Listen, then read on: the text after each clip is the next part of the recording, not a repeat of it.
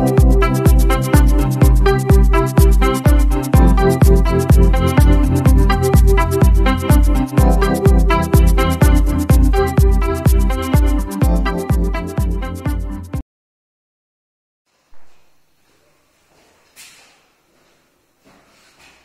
hello and good morning my dear students of class 8. I hope and wish that all of you are keeping fine? Okay, so today we're going to deal with the seventh lesson of your English 2, okay? And it's a short story which is called The Strategist by Saki, right? Uh, but before we go into the story directly, I would like you all to know few things, okay, which will help us to understand the story better, okay, to contextualize the story. So therefore, we have here number one about the author, and number two a little bit of background we'll have of the story, okay, and number three the title, the strategist. Why is it kept the strategist?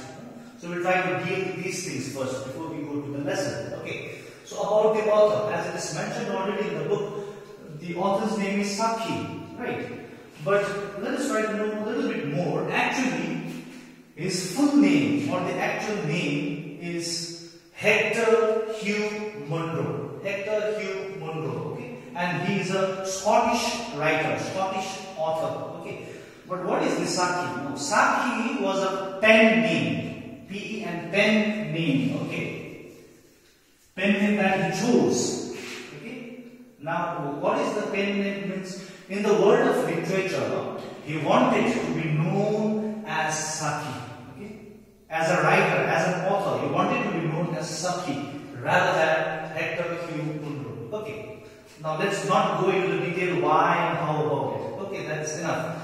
So he was born in on 18th of December 1870 in Burma. Now those days Burma was the British Burma, it was under British, so therefore British Burma. Okay? But later on they shifted to England and then he was uh, he grew up there. Okay. Now our Saki is actually known as the master of short stories in the world of literature. He has written many many short stories. Okay, like we have uh, the open window, Okay. we have the storyteller, we have the chronicles of Clovis, and also our own story, the strategist, and many others. Okay, most of his works are short stories, and uh, in his works, in his writing, especially in his stories, uh, we find a lot of humor, we find a lot of entertainment, we find a lot of satire, sarcasm, you know the meaning of sarcasm? It is actually you are you are you are criticizing someone or something, but in a good way, but in a good manner. Apparently it looks good, but actually you are criticizing the particular person or the thing. So sarcasm. So he uses these elements in his writings. Okay. So he is master of that. And since he was in the army, okay, he was in the British army, in 1916, he died. He was killed in a battle. Okay, so that's a short uh, introduction to the author of our lesson here, strategist.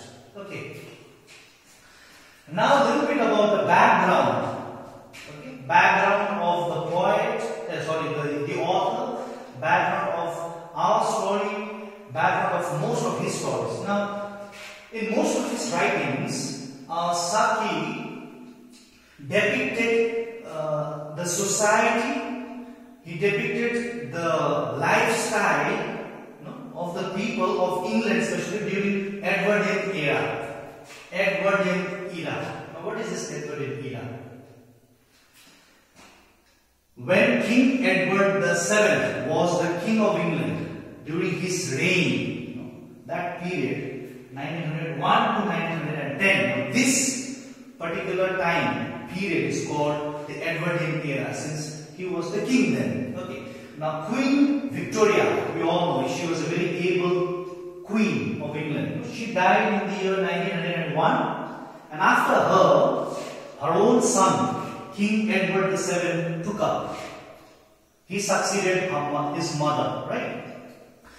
But this fellow, King Edward VII was a little bit of a lover of fashion. He was very fashionable. He was a lover of, of a luxurious life. He was very, very extravagant. He fully enjoyed his life. So that kind of mentality, that kind of lifestyle pattern he had. And so much so, not only King Edward, but most of the rich people during his reign also followed the same. They led a very, very luxurious life, very, very extravagant life. And during that period, there was a uh, huge gap between the rich and the poor. Okay, so that's why our author Saki mostly depicted this way of life of England then. Okay, and he always had a sarcasm, satire, always criticized this way of life. Okay, in our own story also, the strategist, we'll find out later. Uh, it's about uh, the luxurious life of the children of these rich people. The children of these rich people. How they used to uh, regularly uh, meet up in common places and have parties. And they used to have party games, they used to eat lavishly, they used to enjoy their life. It was very common and they used to go back. So that is very much depicted also in our story, our lesson strategist. We'll find it out. Okay. Okay, now this is done, this is done. Now, last, the third part is the title, the strategist. Now see, any title of a story or be it be a poem, it is always connected. The author or the writer simply did not give a title, to the strategist. There has to be some connection with the story, with the content. Okay. Now let us let us try to analyze this word first. You know the meaning of strategy? Strategy. Now what do you mean by a strategy? S-T-R-A-T-E-G-Y. Now strategy means it's a it's a it's a plan of action for future. You plan on in order to achieve some success, in order to achieve something, in order to achieve some positive result. You plan out.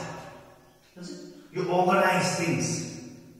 Therefore, we say, like in order to win the match, we have to have a very good strategy.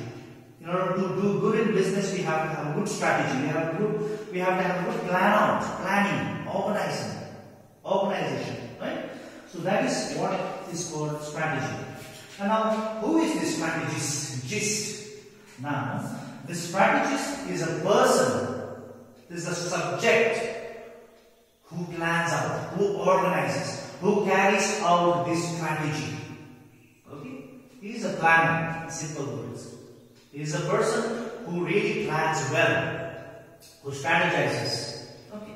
Now why the topic or the title of our story is strategist is later on when we deal with the story we'll find out that because we have one character, the main character in fact, he is a great strategist. We'll find out later. Because the story is about him only actually. How he plans out to outsmart his opponents, his enemies, how he nicely strategizes with strategy, he makes fools of his enemies, his opponents. Small boy.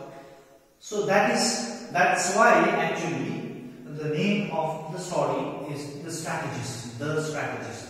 This refers to that particular person, the character. His name is Rollo. We'll find out later on when we uh, when we deal with the story. Okay. So please, the author, the background, and the title. Please keep these things in your mind. Okay. And the next video uh, we will be dealing with the story, with the summary, or with the entire uh, story we shall deal. Okay. Bye.